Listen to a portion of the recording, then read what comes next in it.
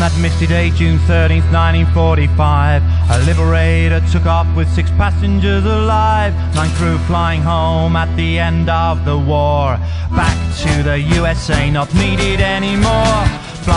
From Prestwick via Stornoway over the Atlantic, and they were on their way. Flight B24H Air Force Liberator, lost in the cloud, or did the mountains break her? And there among the Fairy Lochs, the plane still lies. Two miles from Gairloch, she came down from out the skies. If you take a trip to see the wreckage of the plane, pray for the souls of the men and the families who remain.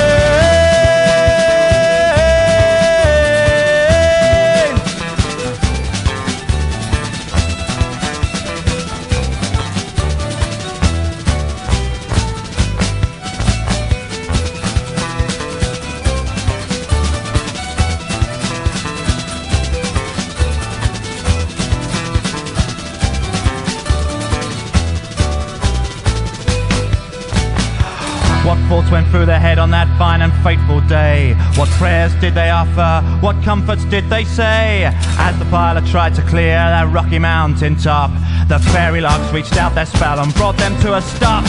Sometimes at night they say the plane still flies, beaten, broken by the weather and the skies.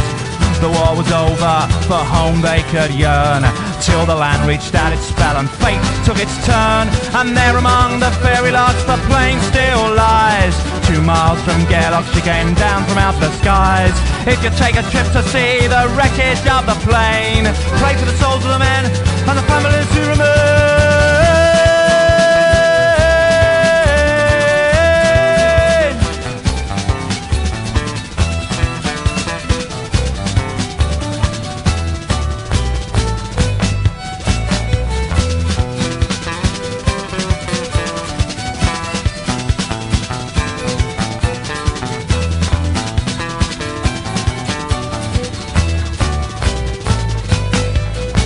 And there among the Fairy Lochs the plane still lies.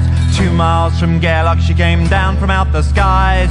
If you take a trip to see the wreckage of the plane Pray for the souls of the men and the families who remain